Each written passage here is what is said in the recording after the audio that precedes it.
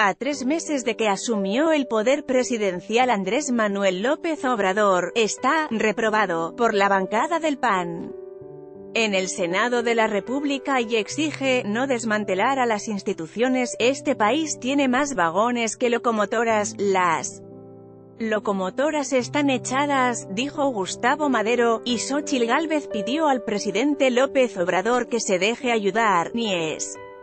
Mala leche ni es ganas de fregar, es ganas de ayudarle a que este país crezca. En conferencia con medios, el senador panista explicó que en materia de mercadotecnia política el gobierno es sobresaliente, en crear expectativas está aprobado, pero en materia de generar confianza para inversión, está reprobado, no están haciendo caso a decisiones. No están haciendo un reconocimiento de la gravedad de la situación, de la falta de abastecimiento de gas en el corto plazo, que puede paralizar al país.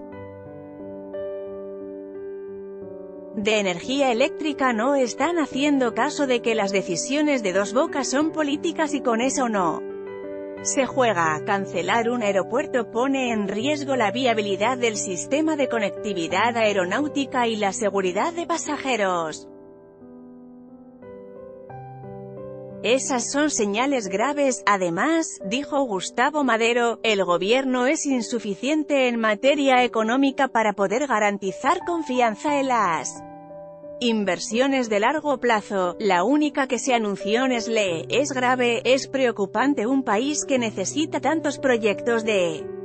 inversión, fuera de las ocurrencias del presidente, del Tren Maya, de los arbolitos, no hay inversiones privadas anunciadas de gran calado y urgen para generar crecimiento e inversión, argumentó el panista. Política rechaza PAN Guardia Nacional con mando militar mientras. Xochil Gálvez declaró que quieren ayudar al presidente a que mejore la economía, si él manda un mensaje de que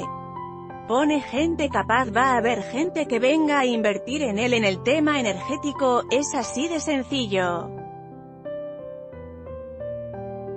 Si yo sé que los competidores no tienen conocimiento, experiencia, no voy a invertir, por eso le diría al presidente